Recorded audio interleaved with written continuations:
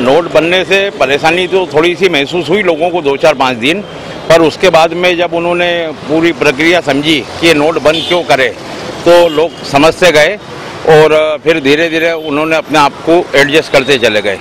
एक छोटा सा उदाहरण ये है कि हमारे घर के पीछे जो बस्ती है, वहाँ पर एक छोटी बच्ची की, एक बच्ची की शादी थी तो वो लोग परेशान हो रहे थे तो वो परेशानी लेके कोई हमारे पास आए तो हमने उनसे बातचीत करी। अमाउंट छोटा सा ही था, करीब बारह पंद्रह हज़ार रुपये का मामला था। उनके पास में जो है वो दो तीन दिन पहले ही उन्होंने बैंक से पैसे निकलाए थे।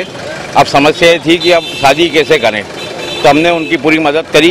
वो रुपया जो है, वो हमने उनकी तीन चार लोगों से करके आपस में बदला के और 100 परसेंट उनको वापस जो उनका नोट जो बड़े थे उतने का उतने ही वापस बदला के उनको करी और उनकी मदद हुई और उनकी शादी भी हो गई सब लोगों फैसले से खुश है और फैसले से खुश होने के कारण जो है, सबसे बड़ी देश की जो व्यवस्था थी, जिसमें आतंकवाद वाला जो मामला था सर्व और जो भ्रष्टाचारी, उन्हें जो पैसा इकट्ठा कर रखा था उन लोगों की कमर टूटी है, बाकी आम पब्लिक बहुत खुश है।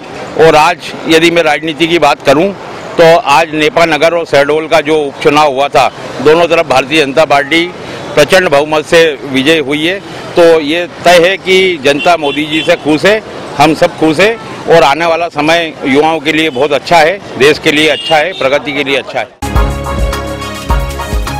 नोटबंदी के लिए ठीक है, लोग परेशान हो रहे हैं। अपन देख रहे हैं। अभी पिछले तीन, चार दिन पहले मैं बैंक गया था। वहाँ पर बैंक में मैंने देखा है, कुछ बुज़ुर्ग महिलाएँ नोट लेके हाथ में खड़ी है। मैंने पूछा माता जी आप कैसे खड़े हैं? तो बोले, भैया, हम यहाँ नोट बदलाने खड़े हैं पिछले दो घंटे से। मैं बोला माता जी ये नोट ऐसे नहीं बदलाएँगे। आपको एक फार्म भरना पड़ेगा। बोले, भैया, हमको फार्म तो भरना याद नहीं, हम कैसे क्या भरें? मैं क्या माता जी आप बेफिक्र रहिए। लाइए, मैं आपका फार्म भर रहा मैंने आप समझिए, सब चार पाँच बुज़ुर्ग को फार्म भरे। उन्हें मुझे बहुत आशीर्वाद दिया और मेरे मन को भी बहुत अच्छा लगा। बहुत आनंद आया। ये जो हो चल रहा है मोदी जी की तरफ़ से, बहुत अच्छा चल रहा है। बहुत बढ़िया चल रहा है। इससे आने वाला समय देश के लिए खुशहाल रहेगा, आनंदमय रहेगा। मैं, मेरे परिवार की तरफ़ से, मेरी नीमा समाज की तरफ़ से मोदी जी को बहुत बहुत धन्यवाद देना चाहता हूँ कि जो उन्होंने सख्त कदम उठाया है। बहुत अच्छा लगा। सबसे पहले तो मोदी जी के इस फैसले का स्वागत करता हूँ। जो मोदी जी ने ये फैसला लिया है, देश हित में जो फैसला लिया है, स्वागत करता हूँ। इसमें कुछ लोगों को परेशानी ज़रूर आई है, जो छोटे मोटे मजदूर लोग हैं, जो दिन रात दिहाड़ी करते हैं। मेरे भी कस्टमर लोग ऐसे ही आते हैं जो मजदूरी करते हैं।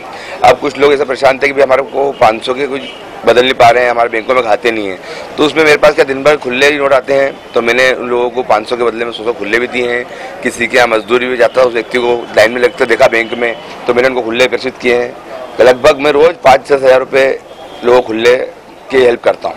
क्योंकि मेरे यहाँ कैश का अंदाज रोज खुले आते हैं, इसलिए मुझे कोई दिक्कत नहीं आती है। बहुत अच्छा फैसला है। इसमें कोई गलत नहीं है। कुछ परेशानी आती है। जैसे अपन कहीं चोट लग जाती है दवाई लगाते हैं। जलन होती है ना, उसी प्रकार चोट लगी उसमें दवाई लगी है। तो कुछ दर्द तो सहन करना पड़ेगा, अगर अच्छा होना है तो ये अच्छा फैसला है। अभी कल ही की बात है, कल एक व्यक्ति की यहाँ शादी है। तो वो बैंक में गया, उसकी लिमिट थी चौबीस हज़ार रुपये निकालने की। उसकी लिमिट खत्म हो गई थी। अब उसको और पैसे की ज़रूरत पड़ी तो मैं गया बैंक मैं मेरे खाते में उसको चौबीस हज़ार रुपये ट्रांसफ़र कर दिए।